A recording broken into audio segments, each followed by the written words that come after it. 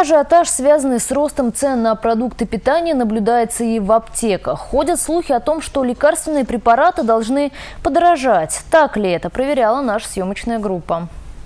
В мире лекарственных средств сейчас очень легко потеряться. Мы часто переплачиваем за бренд и удивляемся, почему на лекарства уходит так много средств. Но на здоровье денег не жалко. О грядущем повышении цен на препараты заговорили сразу же, как начали расти цены на продовольствие. Представители Минздрав соцразвития Чувашии провели рейд по аптекам города, чтобы выяснить, подорожали лекарства на самом деле. Хочется в преддверии Нового года успокоить наше население Чувашской республики э, в отношении э, повышения цен на лекарственные препараты. Ситуация у нас на сегодняшний день достаточно стабильная.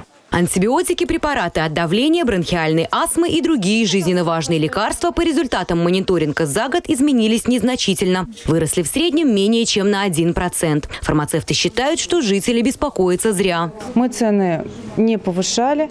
Если было небольшое повышение, это цены были от поставщиков европейского качества, если были иностранного производства лекарства.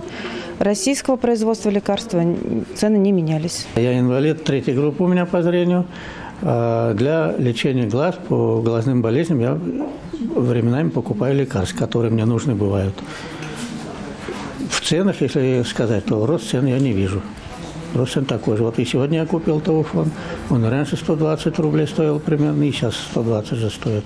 Ну, там 2 рубля, может, 3 рубля. А это в зависимости от э, аптеки.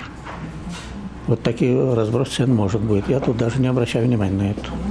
Специалисты объясняют, что цены на лекарственные препараты регистрируются один раз в год. И в настоящий момент перерегистрации не было. Юлия Важенина, Оксана Александрова, Андрей Спиридонов. Республика.